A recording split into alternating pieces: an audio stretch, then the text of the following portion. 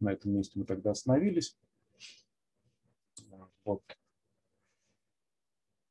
Кто-нибудь переписывал показатель преломления и смог точно сказать, какие свойства можно по показателю преломления здесь определить. Для первого минерала мы уже все нашли практически, по-моему.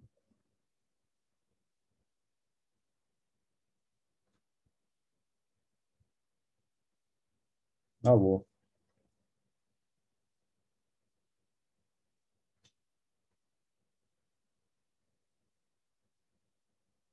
Никого нет на связи? Ну, видимо, никто не сделал. Никто не делал, да? Ну, давайте сейчас тогда решать эту задачу несложную, не хитрую. Вот перечень свойств. Смотрите, желтым цветом выделены те свойства, которые при одном никеле определяют. Это в основном свойства, которые в образцах определяют цвет, форму, спаянность. И с помощью микроскопа рельеф относительно величин показателей преломления может определить. Э, серым это и синеватым цветом это свойство, определяемое при двух никелях вот эти все свойства, кроме последней абсорбции, это все о том, как выглядит индикатриса, то есть ее форма и расположение.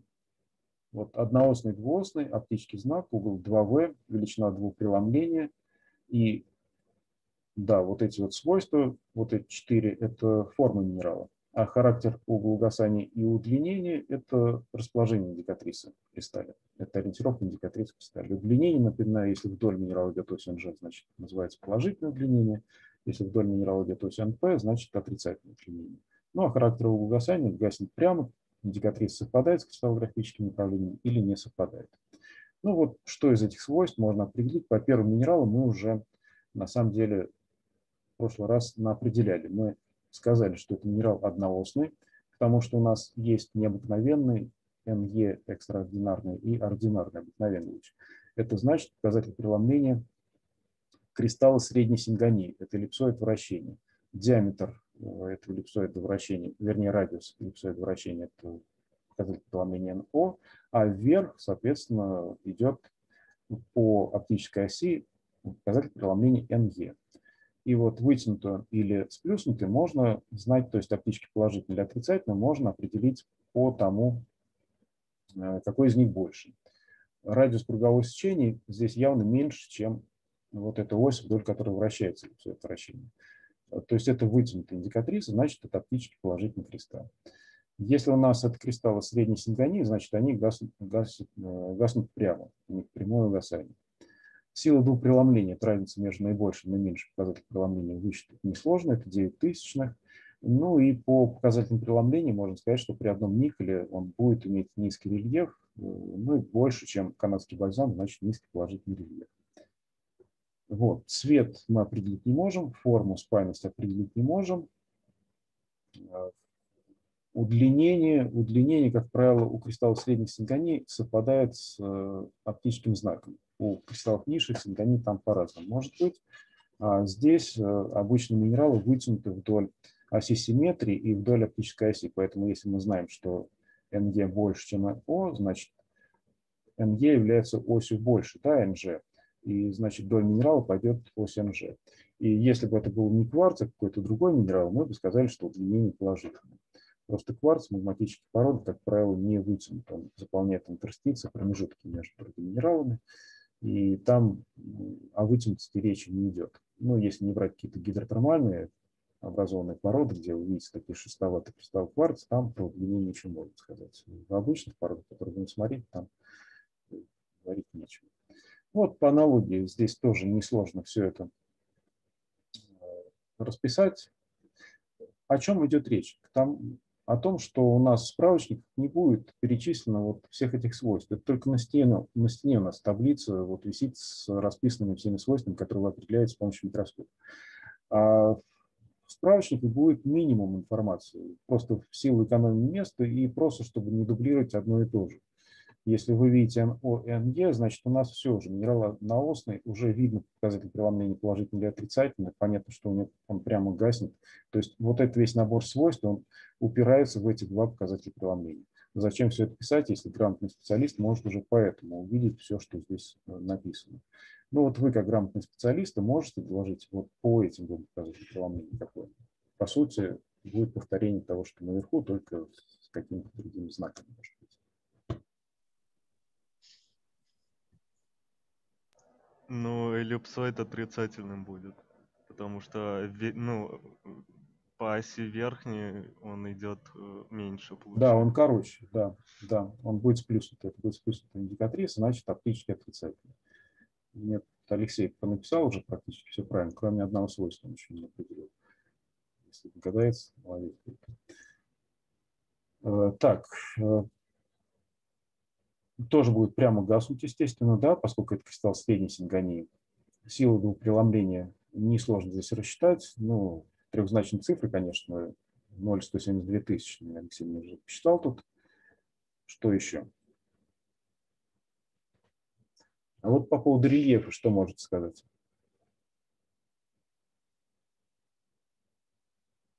Средний. Средний какой? Положительный, отрицательный? Положительный. А положительный рельеф – это когда показатель преломления больше, больше. чем канадский бальзам? Больше. А у канадского бальзама какой рельеф показатель преломления? 537. 1,537. Ну да. И здесь показатель преломления точно больше.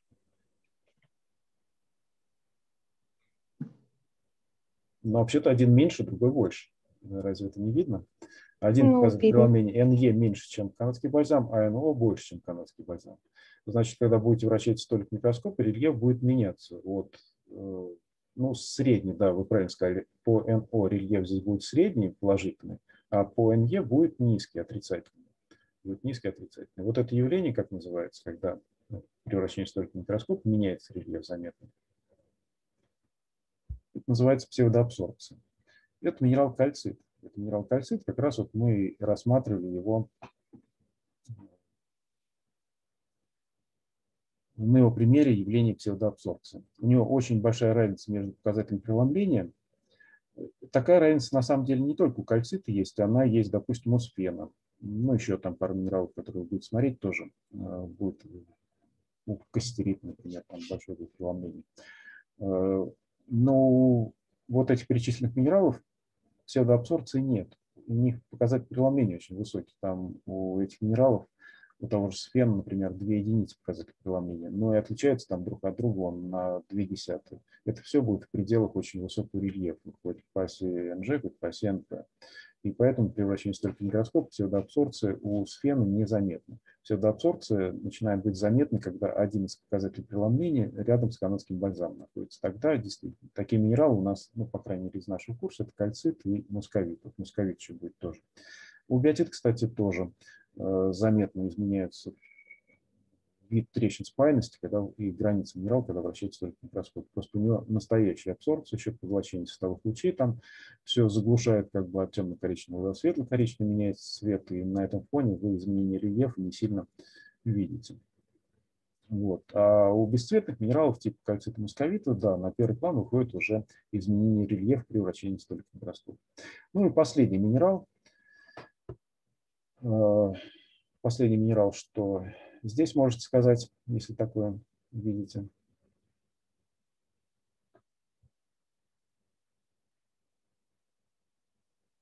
Ну, то, что первое дело, ну, он двуосный. Да, он двуосный, Потому совершенно что, верно. Да. Ну, НМ появляется. А положительный или отрицательный скажете? Так. Вот это хороший вопрос, потому что... Ну, не, очевидно положительный. Почему очевидно? Сейчас. Ну, кстати, ответ правильный. Он действительно фактически положительный. Так. Там были приведены формулы, э, вот в табличке, где мы определяли положительный и отрицательный фактический знак для двуосных минералов. Но, в принципе, можно ориентироваться так, на вскидочку. Если NM близко к NP, ну что такое оптически положительный? Да, это длинная ось NG, она больше, чем радиус кругового сечения. Ну, допустим, радиус кругового сечения NP.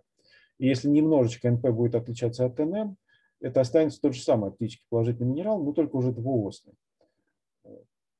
Понятно говорю или нет? То есть NG будет существенно больше, чем NM и NP. Разница между NP и NM меньше, чем между NM и NG. То есть вот эти два показателя преломления, они сильно отличаются от NG. И они меньше по абсолютному значению, чем NG, естественно. Ну, в любом случае они будут меньше, но главное, что ну, но... представьте, NM зачеркнули, оставили только NP, это будет круговое сечение, да, NO, и вытянутую вдоль оси NE, NG. А теперь немножечко как бы раздвинули круговое сечение и получили еще вторую ось NM, которая не сильно от NP отличается. Получится тот же самый оптический положительный кристалл, но только уже э, круговые сечения разъедутся немножечко, это будет оптический положительный знак. Я, а вот... я хотел сказать, что NM ближе к NP, но я как-то, ну это мне кажется неправильно звучит. Нет, это правильно звучит, да, это звучит правильно. А, ну Если математически э, сказать, то разница, там мы записали формулы nm минус np меньше, чем ng минус nm. Но по сути то же самое, только другими словами.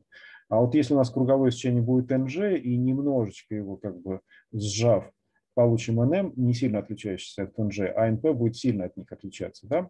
То есть ng и nm будут примерно одинаковые, а np сильно отличается. То это будет сплюснутая индикатриса как раз это будет оптический знак отрицательный. Что еще тут можете вспомнить? Итак, двуосный оптически положительный. Что еще можно определить?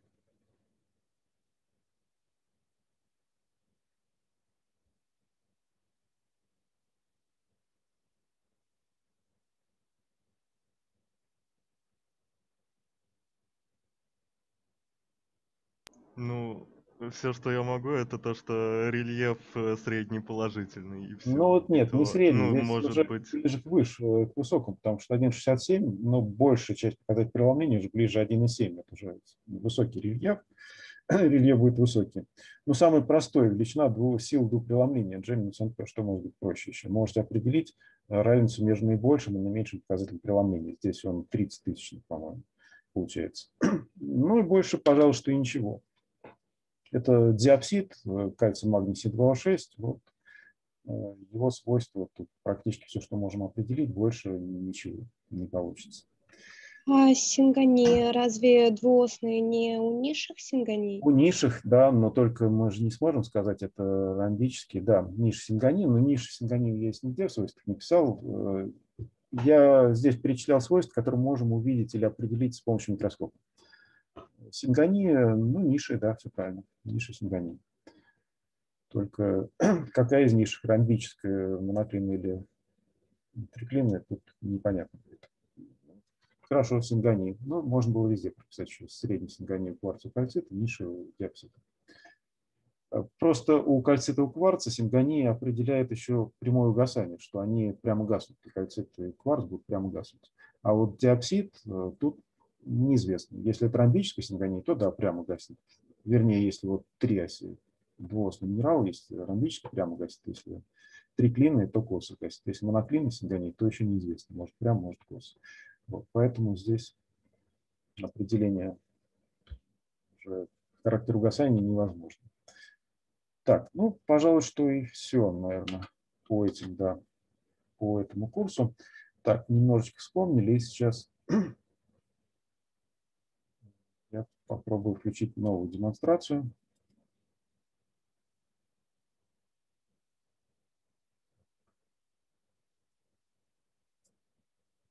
Следующую тему.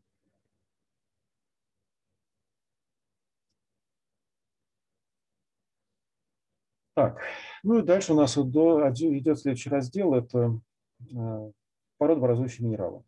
Ну или оптические свойства породообразующих минералов. Начнем с литературы, которая вам, пригодится, э, вам пригодится в этом семестре.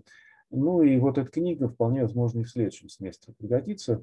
Правда, эта книга достаточно толстая, вы смотрите, имеет ли смысл ее брать или нет. Это наш кафедральный учебник. Э, Петрография, петрологии, магматических, метаморфических, метасоматических горных пород. Ее, она состоит из пяти частей. Э, вот первые две части, они первая часть в этом семестре, вторая часть во втором семестре, а остальные три части, они для группы МГ. Поэтому группе МГ я настоятельно советую взять этот учебник, если он есть в библиотеке. Ну, а всем остальным вы можете обойтись э, либо методичками, которые сделаны в виде отдельной главы этого учебника, сделаны в виде отдельных методичек. Может быть, в библиотеке они есть. Э, другой вариант – просто любой учебник по кристаллооптике, любой учебник по оптическим свойствам породообразующих минералов подойдет. Большое количество всевозможных учебников, там все написано одно и то же, и поэтому здесь э, большого недостатка не будет информации. Э, но вот в следующем семестре, когда мы будем проходить магматические горные породы, это вторая часть этого учебника, он будет нужен уже всем, кто сдает экзамены. Ну, либо в виде методички опять ее возьмите, там отдельная глава вот, магматические породы в виде методички выпущена тоже, либо сам учебник, он будет нужен. Какие-то устаревшие пособия, совсем уж устаревшие, там с середины прошлого века или 60-х, 70-х годов, там много и породы по-другому называются, поэтому будет будут не актуальны. Так, это вот первый учебник. Дальше есть у нас э, выпущенные такие классические труды, вот э, Винчелы, э, оптическая минералогия, они жили в конце 19 начале 20 века, и вот с тех пор выпустили такой фундаментальный труд оптической минералогии. И здесь оптические свойства всех минералов можете найти, если что хорошее такое документальное исследование. В середине прошлого века вот у нас переиздавалась она. А, дальше. Дирхау и Зусман. Парадообразующий минерал. Это пятитомник. Если Винчел – это какие-то оптические свойства, преимущественно на них сосредоточен, он как справочник выступает прежде всего, то здесь описаны минералы, в том числе и с точки зрения петрографии, петрологии, где они встречаются, какие бывают, все разновидности, и их оптические свойства в том числе. А, многие таблицы картинок, которые будут у меня в лекциях, они взяты как раз вот из, этой, из этого многотомника, многотомник Дира. Трёгер – это один из справочников Э, по, минерал, по оптической минералогии как раз, им вы будете пользоваться, чтобы выполнить свое одно из первых заданий. У вас будет вот, по окончании первой части семестра, когда все свойства научитесь определять, вам дадут пару минералов, один одноосный, другой двуосный, и как раз э, отправят вот в этот справочник, что вы там переписали свойства. Здесь есть еще картиночка, как минералы кристаллы выглядят в объеме, не в шлифах. Э, чтобы могли там нарисовать индикатрису, писать в минерал, ну и так далее. Там небольшое задание домашнее по этим минералам, которые вы получите как раз. Этот триггер у нас есть на кафедре, вам его дадут, вы там сфотографируете свой минерал. Вот. Ну и здесь свойства минералов, кстати, вот посмотрите, как они выглядят. Не всегда привычно, ну, вернее, не так, как мы иногда обозначаем. Допустим, посмотрите, оптический знак минерала – вот таким образом. Вот оптический отрицательный кристалл, плюсик, кружочки оптический положительный минерал. Тут не будут расписаны слова минерал оптически положительный или оптически отрицательный. Ну вот, правда, это немножечко излишняя информация. Здесь есть показатели преломления, как мы знаем, уже по ним можем сами определить, положительный или отрицательный. NG минус NP, здесь видите, в виде дельта показано. Вот разница между наибольшим и наименьшим показателем преломления. А, спайность, вот такой решеточкой показано, по каким плоскостям идет спайность того или иного минерала.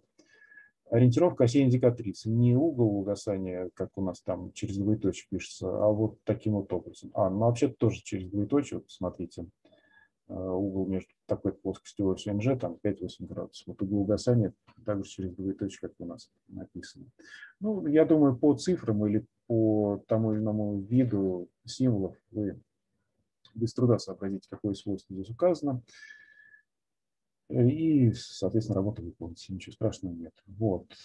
Кстати, по поводу обозначений, допустим, на сайте МГУ, там, если N о и НЕ у нас, или вот в этом справочнике тоже принято НО и НЕ, как показатель преломления, ординарный и экстраординарный пишется. Вот на сайте там, допустим, греческие буквы пишутся, О греческой и эпсилон. Но эпсилон, как и английский, наш пишет через Е почти, а вот О там как двойное В пишется языке. Ну, вот эти пособия. Ну, а так, еще раз повторяю, можете любое пособие вот это смысле брать, где свойства минералов описано, какой у вас есть под рукой или в интернете. Все вот эти книги, которые я здесь показал, они есть в интернете. Можете скопировать их, они у вас будут на компьютере. Ну, а мы начинаем с первой группы минералов, это группа оливина. Группа оливина – это островной силикат, магний, железо. Общая формула тех минералов, которые мы будем в основном смотреть, это магний через запятую с железом 2СО4. С точки зрения кристаллографической решетки, это кремний-кислородный тетраэдр, которые соединены между собой двухвалентными атомами, магнием и железом. Здесь вот кремний-кислородный тетраэдр показан, кислород красным цветом, кремний там внутри не показан. И между ними в октаэдрической позиции, как раз вот так вот между шестью атомами кислорода, э, находится двухвалентный либо двухвалентный магний, либо двухвалентное железо. Немножечко разные позиции могут быть, как видите здесь вот э, такой вот как бы проекции шестиугольник получается, а здесь как бы в квадрате находится. Но на самом деле в объеме немножечко по-другому это выглядит. Но тем не менее позиция э, металлов, магний, желез, здесь э, две позиции существуют, по-разному они расположены.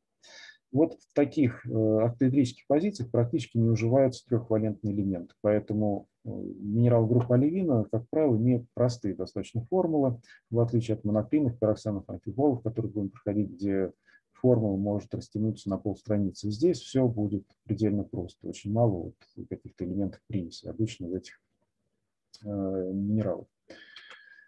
Вот, оливин впервые предложил Вернер э, для минералов, вот для вкраплений в базальт, вот такого зеленого цвета, как раз я нашел образец базальт, примерно похож на то, что, наверное, Вернер видел.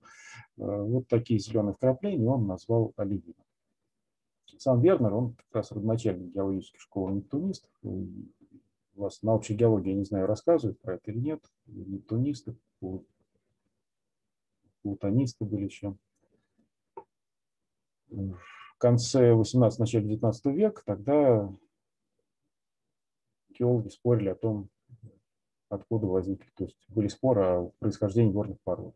Школа нептунистов говорила о том, что горные породы кристаллизовались из океана, из, ну, из мирового океана. Но это прикликалось э, всемирным потопом. Ну, им противопоставлялись плутонисты, которые говорили, что вся порода образована при кристаллизации расплавов магматических.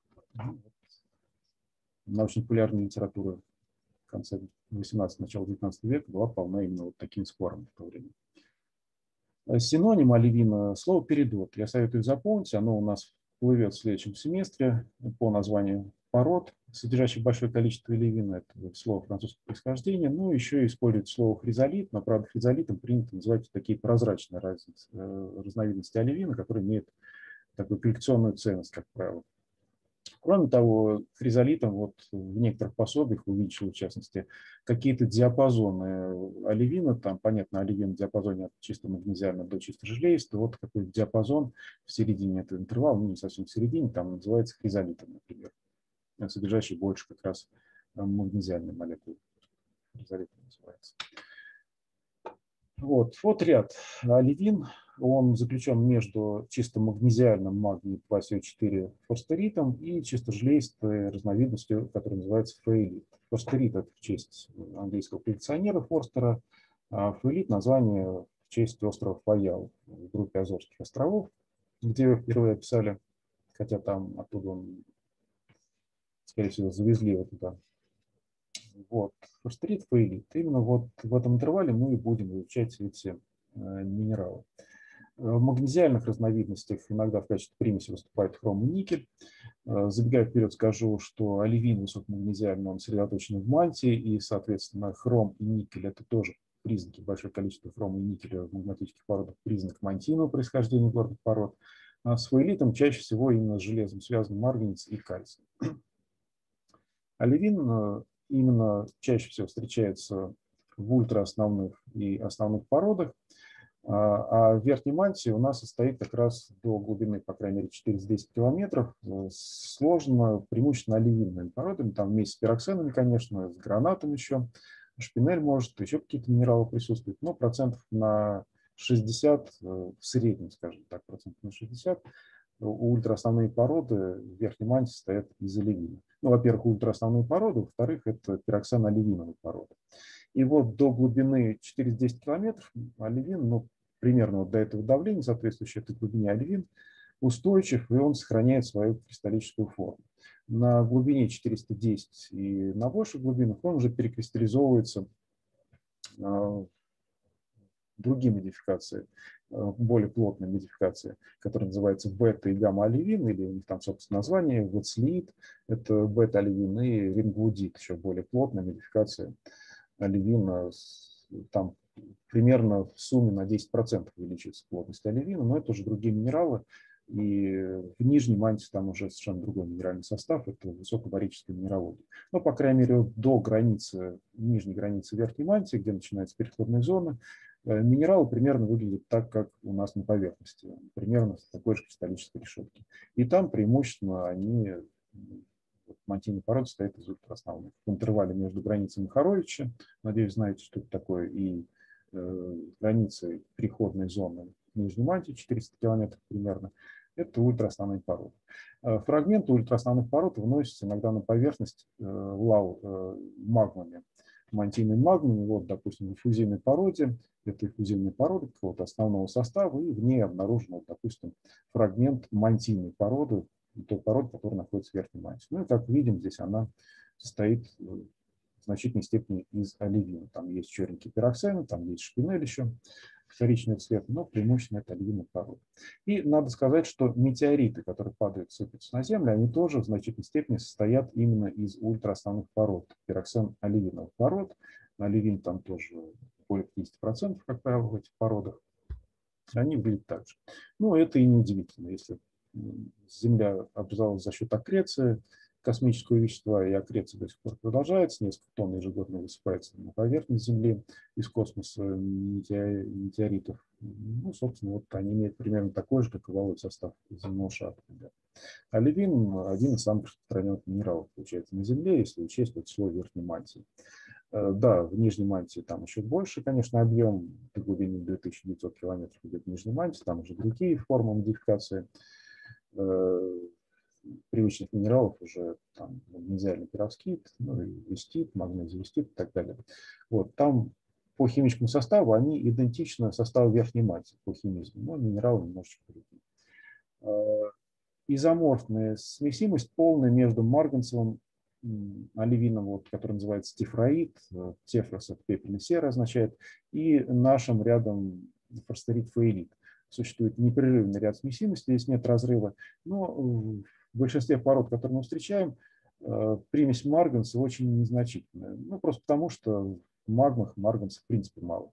Если бы был 50 на 50, там какие-то произвольные соотношения, то у нас был вот этот треугольник был бы заполнен полностью э, составами оливинов, в том числе и марганцев. Ну, как видим, у нас предельно вот э, почти чистые составы, близкие к вершинам форстерита, без каких-либо примесей, ближе к фаэлитовой вершине, где фаэлит, здесь уже возникают разновидности, содержащие большое количество как раз тефраитовой молекулы, и здесь уже как раз марганец, он именно с фаэлитовой молекулой, э, ну, по крайней мере, по петрологическим особенностям происхождения, вот именно тех пород, где железный фаэлит, там и марганец вместе с этим. В этих породах и марганец присутствует. Вот. Иногда марганец цинком замещается, кальцием, тоже двухвалентные элементы. Ну, в принципе, вот этой позиции разные двухвалентные элементы могут находиться. Вот. Ну, еще одна разновидность тоже с такой же похожей формулы – это мантичелит, э, кальций, магний СО4. Он встречается, как правило, в щелочных породах, э, часто вот в карбонатитовых породах. Ну и вот если форстерит, именно высокомагнезиальная разновидность оливина, она чаще всего присутствует в магматических ультраосновных основных породах, то фаэлит, э, тифраит, мантичелит – это минералы чаще всего каких-то вот э, метаморфических и метасоматических пород. Ну, то есть пород с таким своеобразным происхождением. Вот скарнов часто встречается, э, тот же самый мантичелит, и марганцевый тоже, оливина – тоже вот таких метаморфических, метасоматических пород. Э, но эти породы составляют, конечно, не очень большой объем в пределах земного шара. Знаете, метасоматические породы, породы такие контактовые, на контактах встречаются мощности там десятки, максимум сотни метров. Это не очень большой объем. Они интересны с точки зрения минералогии, но по объему мы же рассматриваем в целом, какие породы встречаются в пределах земного шара. Мы обычно будем дело иметь именно вот с фосфоритовой молекулой по крайней мере, вот в ультраосновных породах встречаются оливины где-то процентов на 90 состоящие из фосфорита молекулы. В основных породах типа базальт и габра там уже э, количество фосфорита молекул поменьше, но все равно это процентов 70 примерно, 70-80 процентов фосфорита молекул. Желеистых оливинов магматических породах редко встречаются, но мы об этом скажем, что происходит чуть позже. Вот, дальше форма. Форма, ну и обычные свойства, которые здесь есть. Э, будем рассматривать у этих минералов форм минералов фосфорит фаэлит, это, как правило, э, коротко призматические кристаллы, э, коротко призматические, иногда чаще даже в виде формы зерна, в шлифах вы посмотрите, они полигональные изометричные очертания имеют. Здесь и дальше будут показаны различия свойствах между фосфоритовой и фаэлитовой молекулой. Здесь очевидно, вот можете посмотреть, по крайней мере, показатель преломления у фосфорита существенно ниже, чем у желеистого собрата. Э, желеистый оливин имеет высокий, уже близкий к очень высокому рельефу, а вот э, магнезиальный он ближе к среднему рельефу. Все это еще высокий рельеф, но уже так на границе, на нижней границе рельефа. По интерференционным окраскам тоже. Э, если у фосфорита то, что мы чаще будем наблюдать, это 35 тысяч, это граница примерно второго-третьего порядка интерференционных окрасок, фаэлит очень высокие состояния интерференции имеет, но вы их вряд ли увидите. У нас фаэлитов шлифах, я не помню, что были. И ориентировка индикатрицы. Вот здесь показано, как ориентирована. Но у нас будет еще отдельная картиночка, как ориентирована ось NG, MP и NM. Вот вдоль вытянутости здесь ось NM идет. Если помните, такое свойство мы говорили удлинение минерала вдоль оси, вдоль вытянутости минерала, если идет ось NG, это положительное удлинение, если NP – отрицательное. Ну а здесь, как вы видите, обе эти оси NG идут поперек вытянутости кристалла, поэтому у оливинок про удлинение, как правило, не говорят.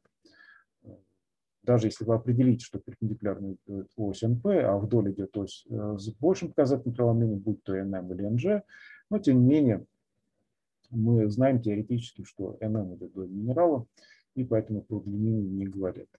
И оптический знак. Вот оптически положительный является фосфорит. Вот это те самые изогиры, которые если кружочек нарисовать, вот изогиры привязаны к оптическим осям. Здесь они так обозначены. Это плоскость оптических осей, MG, NP именно здесь. Уже, конечно, все это подзабывается, но на одной из первых лекций мы рисовали все эти сечения, и именно в плоскости NG, NP находятся оптические оси лежат, а круговые сечения э, находятся как раз вот перпендикулярно оптическим осям. Вот, и угол 2В э, острой биссектрисы является ось МЖ у форстерита, а острой биссектрисы э, у фаэлита является ось НП. Таким образом, фаэлит оптически отрицательный, а форстерит оптически положительный. Но об этом еще чуть позже поговорим. Чаще всего мы будем иметь дело с форстеритом. Э, где-то на 90% форстерита молекул происходит смена оптического знака. И мы именно с такими минералами будем иметь дело, как правило. Вот, да, плоскость оптической оси здесь обозначена еще, что это третий пинокоид. Как раз вот вдоль третий пинокоид идет эта плоскость. Э, дисперсия, ну, вряд ли мы это увидим. Ну, то, что угол оптических осей красного цвета больше, чем угол оптических осей синего, фиолетового цвета. Здесь на правой картиночке показаны кристаллы чистого фосфорита и фаэлита. Фосфорит вообще-то как оливин Оливин обычно зеленоватого цвета, но вот здесь, правда, очень тонкая пластиночка. Здесь поле зрения, по-моему, около миллиметра. Да, вот написал около миллиметра. Поэтому по сути, по сути здесь получается тонкий срез, как в шлифах, и вы видите почти бесцветный э, фосфорит. Фаэлит коричневатого цвета, как правило. Здесь тоже небольшое поле зрения. Э, здесь коричневатый фаэлит. Вот, вот такие примерно, э, так, это Полдерварта схема, но в принципе вот такие таблички у Винчела есть и в любых других справочниках есть, и даже у нас в аудиториях лежат такие карточки, где показано, как меняются те или иные свойства от форстеритовой до фаэлитовой молекулы. Здесь количество фаэлитовых молекул показано от 10 до 100, от 0 до 100 процентов и показано, как меняются те или иные свойства, ну и не только свойства, а всякие разные другие вещи. А, вот плотность, допустим, как ми... Ну, понятно, что есть очень много шкал, для каждой линии своя шкала. Ну и вот, как опытный специалист, вы сможете, я думаю, определить, к каким линиям какие шкалы относятся. Да? без проблем. Ну, первое, ну, с чего можно начать? Содержание магнио, допустим, и содержание ФРМО э, в молекулах оливина. Да? Естественно, у фаэлита содержание магнио 0, да, вот 0%. Здесь как раз содержание в процентах весовых дается от 0 до 70%, дальше нет смысла. А, потому что еще вторая молекула СО2 есть, которая тоже какой-то объем имеет. Ну и вот магнио 0% и до, э, чего там, до 50 примерно 8% фосфоритовой молекулы. И в противоположную сторону наклонена, наклонено содержание флоропола к допустим, идет тоже от нуля, если 0 провести у фосфорита, 0 содержания железа, естественно, это чисто магнезиальная молекула. А вот э, в фаэлите ФРМО до 70 массовых процентов доходит. Ну, почему больше? ФРМО до 70 процентов, а магнио только до 40, до 50, по-моему, что-то 6 или 7. Просто потому что ФРМО тяжелее. Это все весовые проценты массы. ФРМО тяжелее. Там магнио где-то 40 процентов. Вес молекулы магнио 40. Не процентов, а углеродных единиц. А у железа там 56 э, ферм и О16, ну где-то больше 70, да, больше 70 процентов ферм. То есть поэтому, ну как раз 72 и есть. А вот между прочим, это и есть как раз их, по-моему, проценты. Так, ну хорошо. Вот, дальше плотность, э, вот эта линия, плотность от 3 и 4, вот эти цифры, грамм на кубический сантиметр. Понятно, что желеистый более тяжелый, тут более 4 грамм на кубический сантиметр, но мы имеем дело чаще всего с магнезиальным, поэтому плотность оливина, которую будем иметь э, в образцах, почти всегда 3,5 грамма на кубический сантиметр.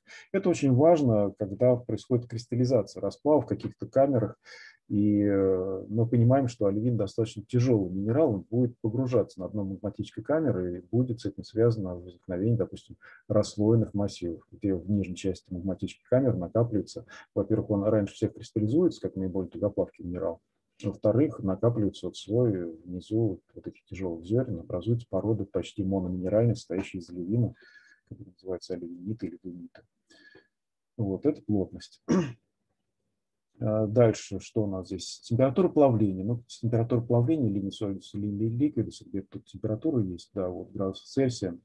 Здесь можно посмотреть, как эти температуры плавятся те или иные э, разновидности. Но это будет у нас отдельная картинка, посмотрим. Так, что еще? Показатели преломления. Здесь альфа, бета, вот так они обозначены. И вот еще какая-то линия. Здесь видно вот эти три показателя преломления. Но понятно, это сверху больше NG, внизу NP и NM посередине. Вот, где-то у нас показатель преломления, вот слева шкала показателя преломления показана в каком интервале. Ну и видно, что магнезиальные разновидности, они имеют меньше рельеф, чем желеистые. У желеистых там до почти очень высокого рельефа доходит показатель преломления, 1,8, а 1,6, э, ну 1,7 в среднем. Если округлять, показатель преломления форстерита. То есть железная разновидность имеет более высокий рельеф.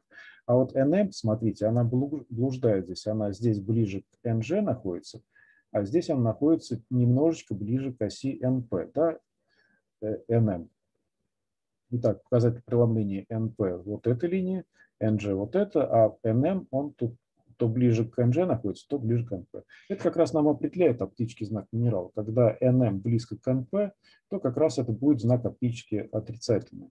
Э, то есть индикатриц сплющенный. А когда вот это NM приближается к NP, вот к меньшему показателю преломления, то здесь будет как раз уже, а вот этот интервал больше между NM и NG, то здесь будет положительный знак. А смену оптического знака вот можно провести по этой линии. Смотрите, угол 2В – это как раз угол между оптическими осями.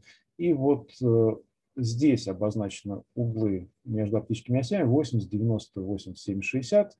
И смена оптического знака приходит как раз по углу между ними 90 градусов. Как раз плюсами отмечены вверх от оптически положительного кристалла, вниз оптически отрицательный. Ну и если провести 90 до пересечения с линией 2В, то это приходится где-то на оливин, содержащий ну, примерно 12-14% молекулы флором 2СО4 флюоритовой молекулы. Да, вот здесь как раз происходит смена оптического знака. Иногда граница вот разновидности минералов, тут вот внизу показано фосфорит, хризолит, дальше там гартонолит, ну, это какие-то названия, немножечко устаревшие уже разновидности оливина, которые сейчас не приняты уже, обычно различают форстерит, фаэлит и все остальное оливином называют. Ну, иногда более железистый оливин называют гартонолитом, но, честно говоря, редко встречается в литературе, современной, по крайней мере. Вот. Так вот, иногда э, границу между форстеритом и оливином проводят как раз по смене оптического знака оптички положительные будет фосфорит, а уже в сторону оптички отрицательного знака это уже все оливин вплоть до фаэлита. Вот. Ну а иногда просто по круглым цифрам, как то здесь показано, 10% все, это уже конец фосфорита. Начинается оливин. Вот таким вот образом. Но еще раз повторяю, мы чаще всего будем иметь дело вот с оливином, который имеет где-то 10-30% фосфоритовой молекулы, ну или 90-70% фосфориты молекулы.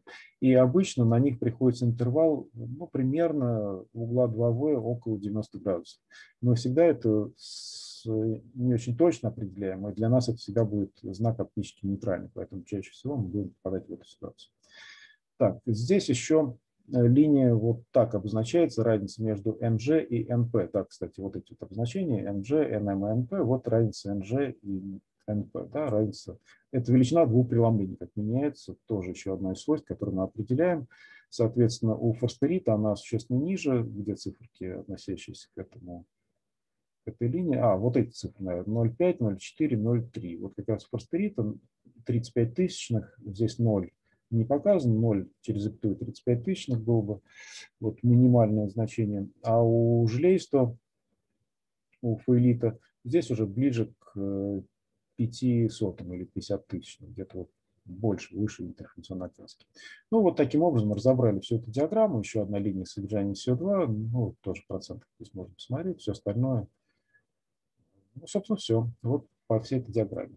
Ну и в таблице представлено простейшем таком виде, чтобы было видно, как меняются диапазоны свойств. Здесь как раз показал по форстериту, по фаериту, ну и нечто промежуточное, то, что чаще всего встречаться у нас будет, это альвин, содержащий от 90 до 70% фосфоритовой молекулы.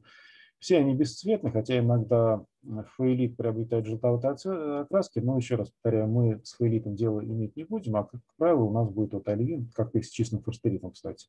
А чаще всего будет вот альвин вот в этом диапазоне количества фосфоритовой молекулы.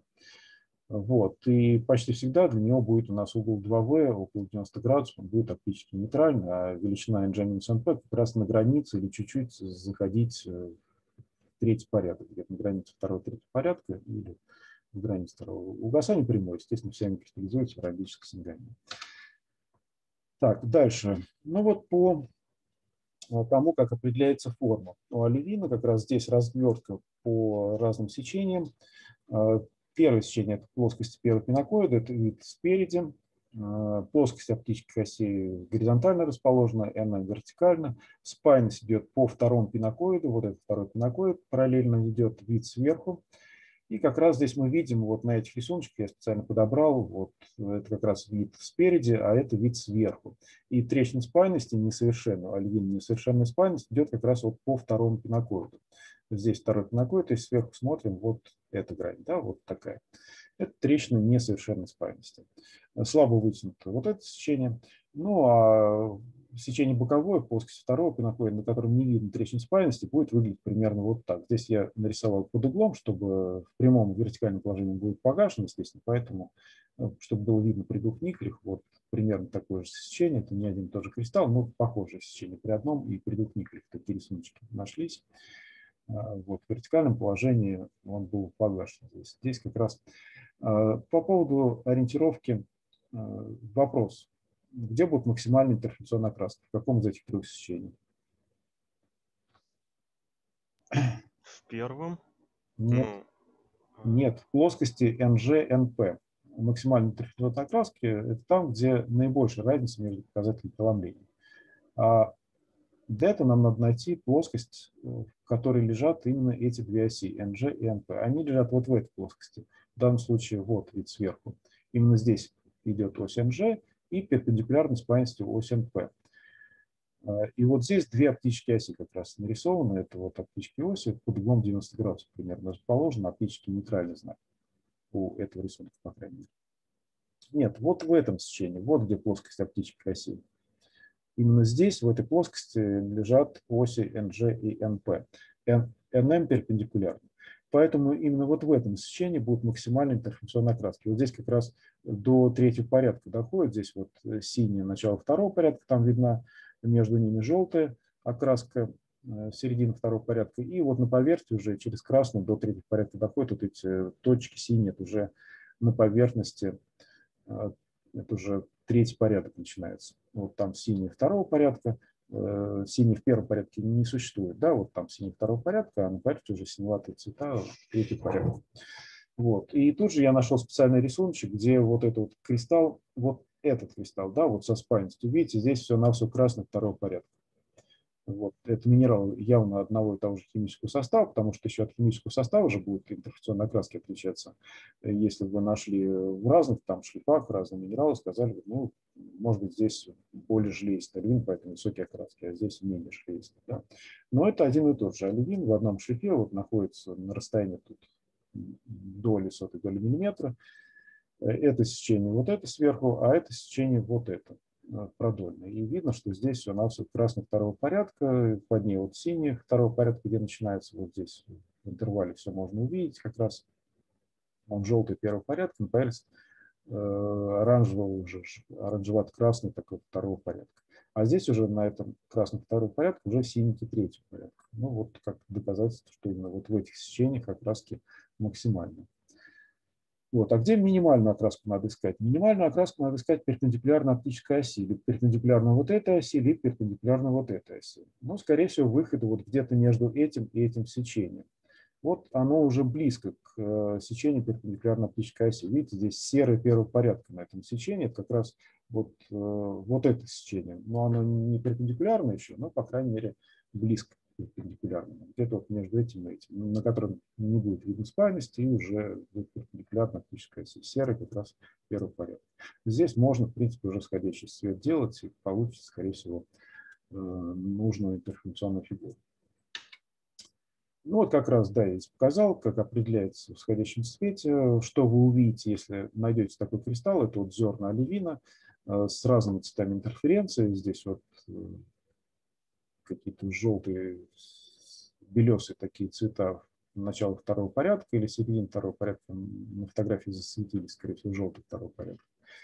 Здесь вот красный второго порядка, конец здесь трудно понять, скорее всего, фиолетовый начало второго, а вот это серый первый порядок. Вот нашли сечение перпендикулярно оптической оси, и вот на этом сечении мы ставим объектив 60, чтобы собрать все лучи, расходящиеся в разные стороны и получаем в сходящем свете интерференционную фигуру в виде прямой изогиры. Э, изогиры на разрезе перпендикулярной оптической оси у всех минералов в каком-то положении будут иметь э, прямой вид. Но у минералов, где не нейтральный оптический знак, это обычно либо горизонтальное, либо вертикальное положение. Ну, впрочем, и у одноосных минералов то же самое будет. Э, либо вертикальный, либо горизонтальный ливень. А под углом 45 градусов, вот под таким углом, они будут изогнуты. Вот если прямая изогира, а вот если у оливина будете вращать столик микроскопа, то вы всегда будете иметь прямую изогиру. Это означает, если нет изгиба, значит угол 2В равен 90 градусов. Это минерал оптически нейтральный. Вот. Это значит, что мы имеем дело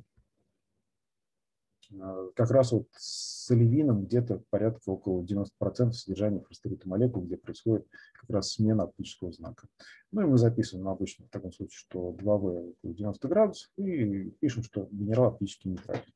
Еще раз повторяю, что вы в нашем курсе в этом семестре будете почти всегда получать э, именно такие оливины.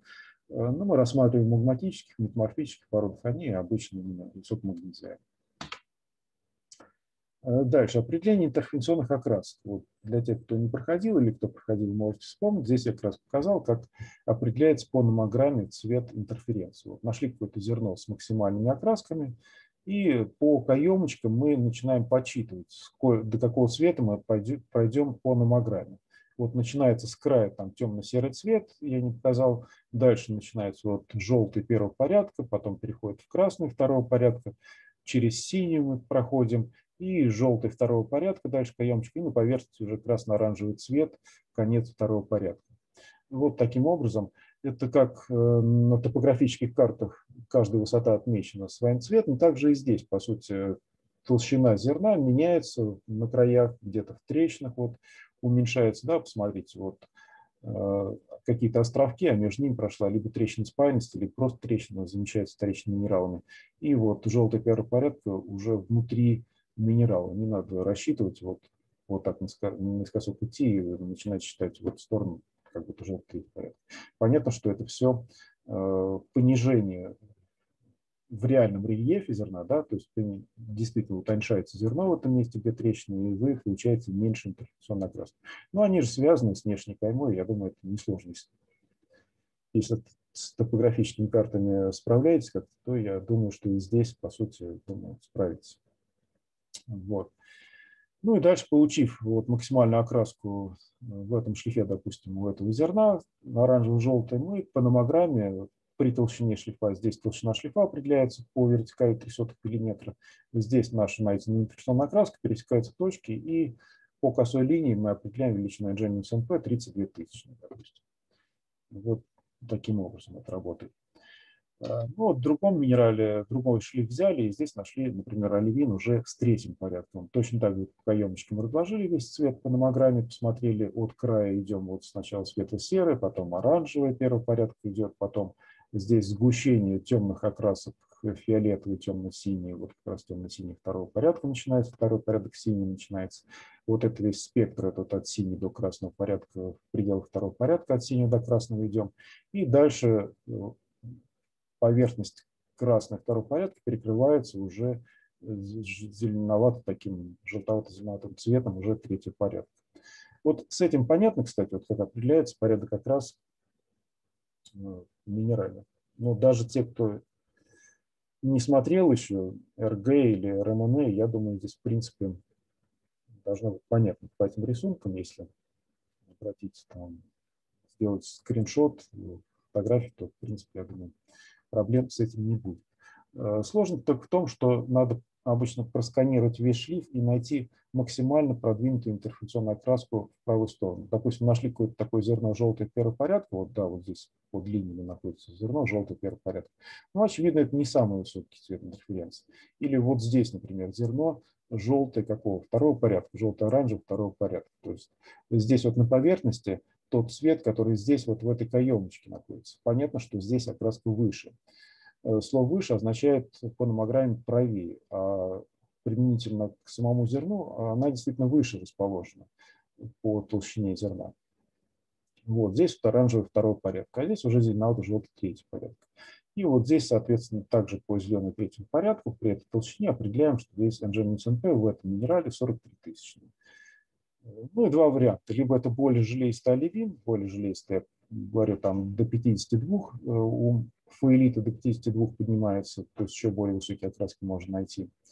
Э, либо просто шлиф толстый. Бывает так, что шлиф толстый. Но если шлиф толстый, то тогда у всех минералов пойдет завышение интерференционных окрасок. Вот здесь серпентин, который темно-серым, был бы не темно-серым, а каким-нибудь желтым или оранжевым или красным первого порядка. Вот здесь. Но здесь вот серпентин темно-серый остается, значит у нас получается шлиф правильной толщины, просто оливин более желеистый. Вот. Дальше характер угасания.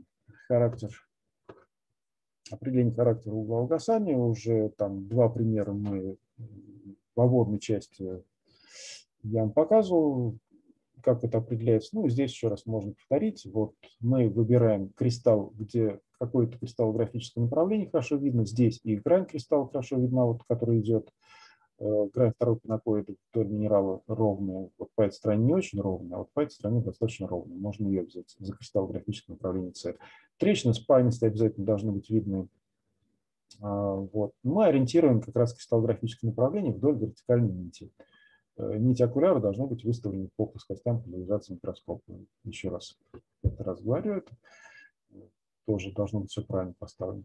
Дальше смотрим при двух никелях. Если минерал погас, значит, то у него прямое угасание. Значит, у него в этот момент оси индикатрис совпали с э, нитями окуляра в этот момент.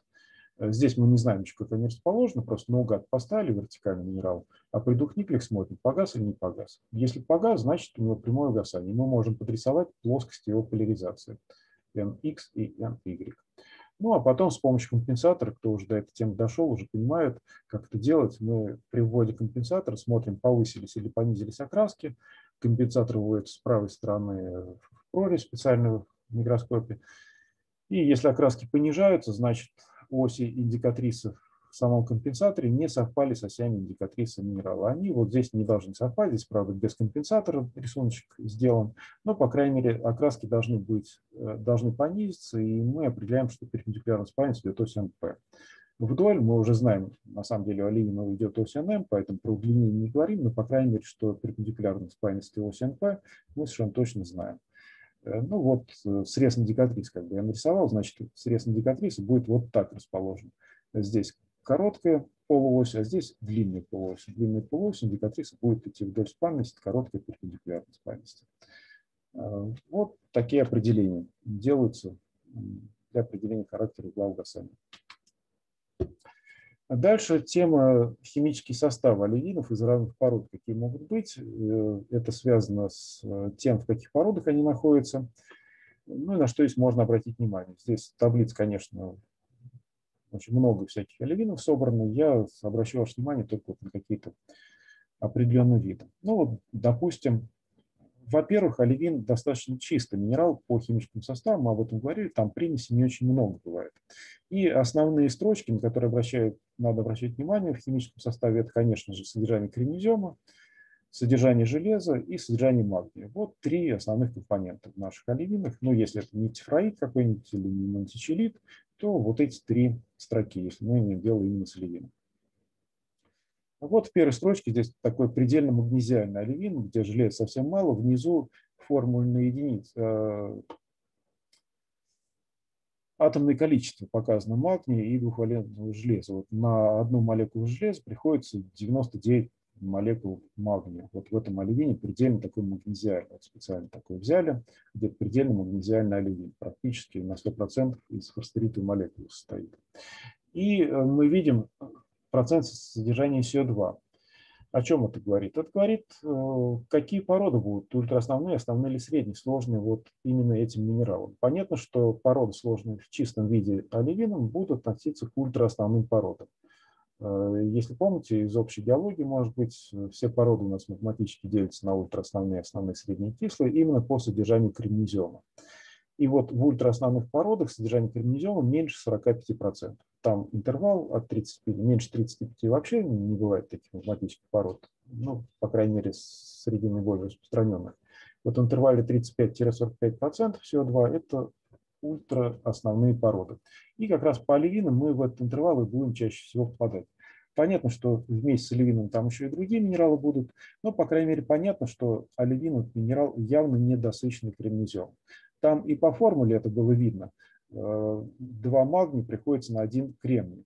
В формуле магний 2, СО4, да, на два основания приходится в молекулярных количествах, если в атомарных количествах брать, э, один кремний всего на все. То есть он в два, раза, в два раза больше оснований имеет, чем кремний. Но это в атомарных количествах. Да, но вот здесь показан как раз формульные единицы. На два магния примерно один кремний приходится. Ну, так оно и везде будет. В сумме магния и железа будет в два раза больше, чем кремний.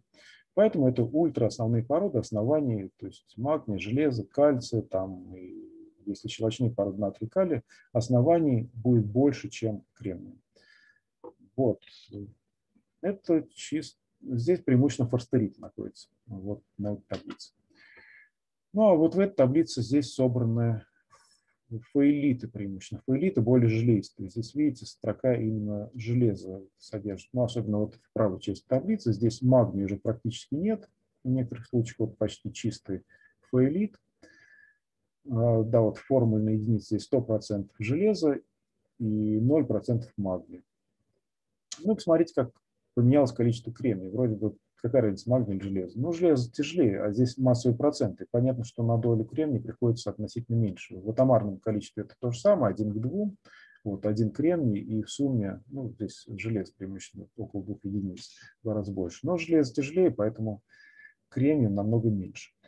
Вот если бы состоял из чистого фаэлита, то даже за пределами 35% массового было бы содержание в такой породе. Но я еще раз повторяю, у нас в магматической породе все-таки преимущественно магнезиальная ливень присутствует. А здесь вот кремнезем еще меньше 30% даже фаэлитовых составляющих фаэлитов. Так, что еще по этим таблицам было бы интересно? Ну, здесь показано еще, как меняются оптические свойства для тех или иных разновидностей. Вот показатель преломления, угол 2В в том или ином случае измеренная. Плотность, понятно, что плотность у фаэлита больше, чем вот содержащий магний какое-то количество. Ну, пожалуй, что и все, что касается химического состава. Температура плавления оливина. Последнее, наверное, о чем мы сегодня поговорим, это температура плавления оливина. Э, в принципе, островной силикат, в частности оливин, тугоплавкий минерал. Он более тугоплавкий, чем пироксен, амфиболы и слюда. Э, он в той таблице, которую мы рисовали, это ряд Бойна, ряд плавкости, тугоплавкости минералов, и вот оливин самый тугоплавкий минерал. Он около 2000 градусов примерно кристаллизуется в чистом виде, если фосфориты брать, но если точно, 1890 градусов. Желеистая разновидность существенно менее тугоплавкой. Посмотрите, 1200 градусов. Разница между ними почти 700 градусов. 700 градусов, ну это надо какой-то для примера взять другие составляющие. Да, вот вода, например, кристаллизуется при нуле градусов, а вот свинец или олово, там, я не помню, градусов 300, да, э, между ними разница в два раза меньше, чем температура плавления, я имею в виду вот этих самые легкоплавкие металлы, там олово или свинец, не помню, сколько градусов, 300, наверное, будет, да, температура плавления этих металлов. И разница между льдом H2O и вот этими металлами расплавленными меньше, чем между фосфоритом и фаэлитом. То есть если кристалл фаэлита уронить в расплавленный фосфорит, то же самое, что кусочек льда уронить в расплавленное олово. Будет примерно то же самое. Вот насколько большая разница между Температурной кристаллизации или плавления вот этих двух минералов. Э, вот. Ну, эти диаграммы в курсе химии вы, наверное, проходили, в принципе, знаете. В чем причина? Почему фосфорит более тудоплавкий? Э, это зависит от ионного радиуса. У магния ионный радиус меньше. Вот здесь магний 2+, взят ионный радиус 0,72 ангстрема, а у железа 0,78 ангстрема. Вот этого, в принципе, достаточно, чтобы магнезиальные разновидности были более тугоплавкие. Э, вот в этой формуле магний 2 СО4, анионная группа СО4 нередко в квадратных скобках рисуется вот в некоторых пособиях, учебниках. Вы наверняка нередко пишете в скобках Почему?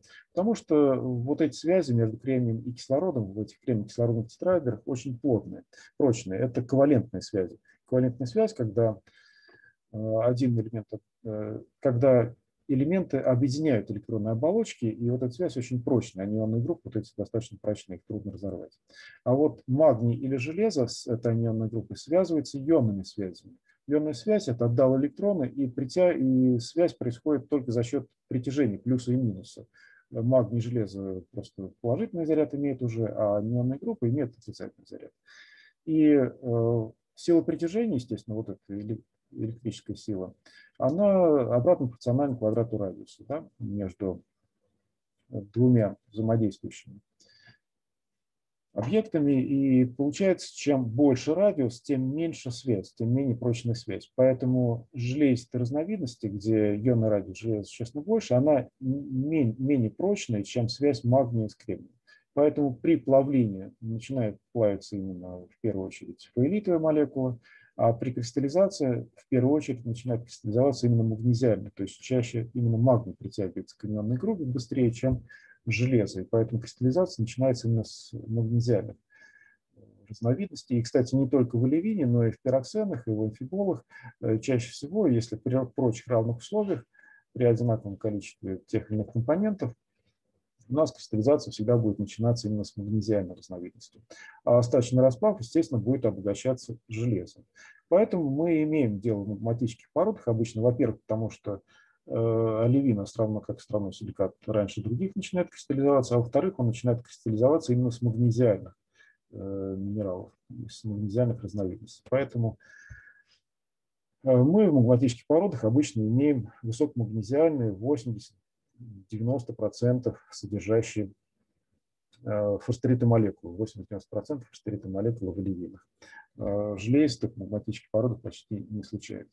Вот какие-то метаморфические, метасоматические породы, где совершенно другой принцип перекристаллизации, там может быть как раз и фаэлитовые молекулы. Или в остаточном расплаве. Допустим, случается так, что вот расслоенный массив образуется у нас, магний Э, магнезиальный разновидность оливина кристаллизуется, кристаллизуется, а остаточный расплав все больше и больше обогащается железистыми компонентами. И вот в верхних частях расслойных массивов иногда э, можно встретить более-менее желеистый оливин, э, содержащий большое количество фаэлитовой молекул. Именно потому, что там уже магния практически не осталось, и у нас начинает образовываться именно фаэлитовый оливин. Ну вот, пожалуй, на этом мы и остановимся сегодня. Так, вопросы какие-то есть или все уже начинаем разбегаться? Да, вроде нет вопросов. Ну, если нет, тогда... Тогда до свидания. Тогда до свидания. Я прекращаю презентацию. И... Всего доброго. До свидания. До свидания.